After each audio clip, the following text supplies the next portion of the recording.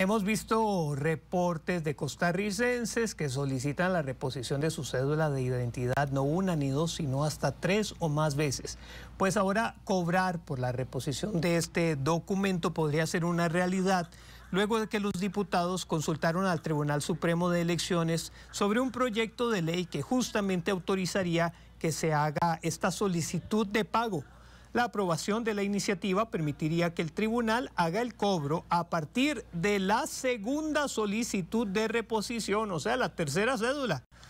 en el mismo año calendario. En cuanto al costo, el órgano electoral se encargaría de determinar cada año, basado en los factores de producción que intervienen en el, proceso para la emisión de las cédulas.